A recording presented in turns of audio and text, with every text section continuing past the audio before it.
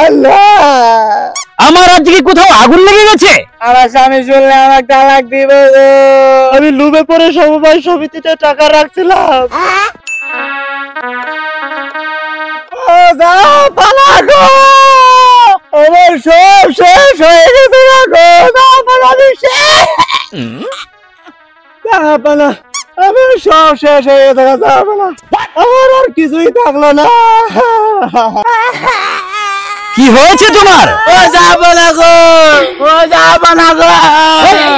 আমি না আমি না। ও যাব না যাব না আমার স্বামী পিঠে আমার খাই দিছে। উজির সাহেব আপনি ওনাকে তুলেন তো ঝাড়তে যেতে পা ফেলল। না গো। আমার কি সর্বনাশ হইল গো? ওরে আল্লাহ। গো যাপনা আমার সর্বনাশ করে লাইছে গো। এ দাদি এই যে উঠে বহেন উঠে বহেন উঠে বহেন উজির সাহেব এ কি হচ্ছে?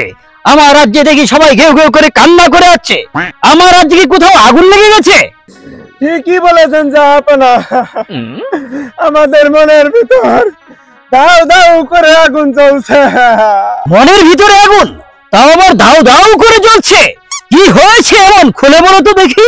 জাহাপনা আমি অনেক কষ্ট করে টাকা পয়সা জমিয়ে রেখেছিলাম ওই সমবায় সমিতিতে। আর সকালে যাই দেখি ওই আর নয়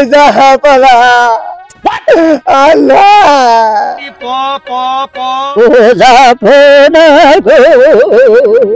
আমার সারা জীবনের কষ্টের টেকা আর বিধবা তার টাকা গো।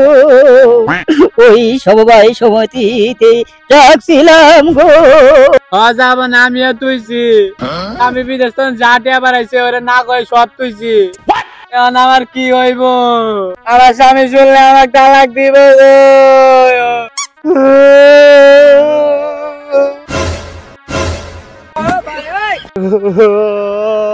সাহেব আপনার আবার কি হয়েছে? বেশি টাকা সুদের জন্য আমি লুবে পরে সমবায় সমিতিতে টাকা রাখছিলাম। আমার সব টাকা নিয়ে গেছে গা। সুপ্রিয় দর্শক মন্ডলী ভাইরা আপনারা অবশ্যই এ থেকে সাবধান হবেন। বিভিন্ন সমবায় সমিতি থেকে সাবধান হবেন।